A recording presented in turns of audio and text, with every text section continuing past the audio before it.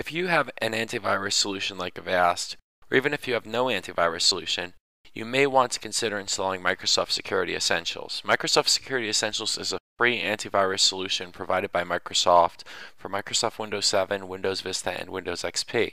Security Essentials is the derivative of the Microsoft OneCare product, um, which was previously a commercial product and is no longer available for use.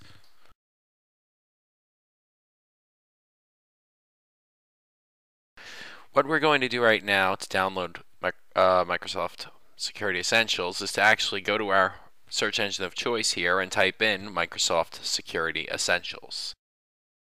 Having a free antivirus solution for Microsoft is not a bad thing whatsoever. Chorus headed for effect. And of course now we have the Microsoft site coming up first. We check the URL to make sure it's legit. And of course it is, and we can actually access the site uh, via this URL at any time, microsoft.com forward slash security underscore essentials. And we can go to download now. Automatically, the download will pick up on what operating system you're using and which version of Security Essentials you need. If you're using Internet Explorer, you don't have to save the installation file. You can just click on Run. And what we'll do here now is agree with our user account control warning and we shall close uh, the browser.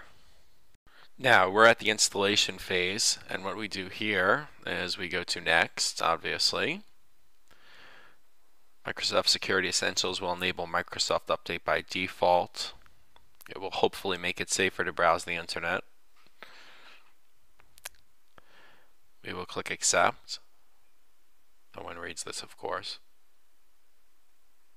And we will validate our copy of Windows.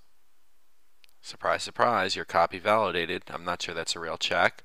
And we click on Install. Now, if you have any other antivirus software such as AVG, Avast, McAfee, Norton, Symantec, you want to remove those before you do this installation. And now we will scan the computer for potential threats immediately. What MSE will do first is search for updates, uh, definition updates, which it requires. And until then, it'll say that your computer is at risk. Once the uh, definitions are finished downloading, it'll do an initial quick scan. And while that scan is going on, you can go in and customize the settings to your liking.